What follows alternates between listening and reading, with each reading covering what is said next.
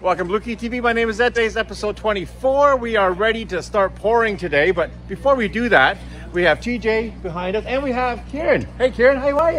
Hey. Hey, say hi to the audience. Fantastic. So, TJ, right now, what are you doing? We are tying all of the wire mesh together so that we don't have any spots that are loose. So, why are you ta- like? What does the wire mesh do? This is basically a concrete insurance so that he doesn't have to worry about any cracking happening. Okay. Cheapest way to make sure you are safe and covered. Okay, and so now these ties, uh, how do you tie them together, and what is that? We have aluminum wire ties. We stick them underneath your wire mesh. And we have the old fashioned wire tire.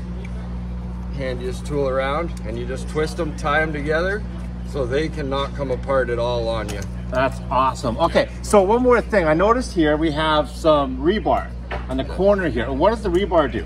Rebar we have put in there just a little bit more to make sure it's good and strength on our corners. If there's any spots we think that are weak, we're just making sure it's good and strong. Awesome. Okay, so today we are ready to pour. Uh, so we got all this stuff beforehand, and um, so after all this is secured, we got the forms in the back, we got the rebar, and we got the mesh. So we're ready to pour.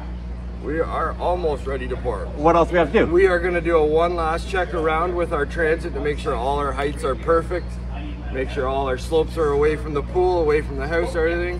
Next step after that is to pour concrete. Awesome. So we are going to continue this episode today, and we're going to uh, get back to you when we actually do pour. We're pouring concrete, and it's a stamped concrete, so we're going to show you how to do that as well. Thank you so much for joining us on BlueKey TV.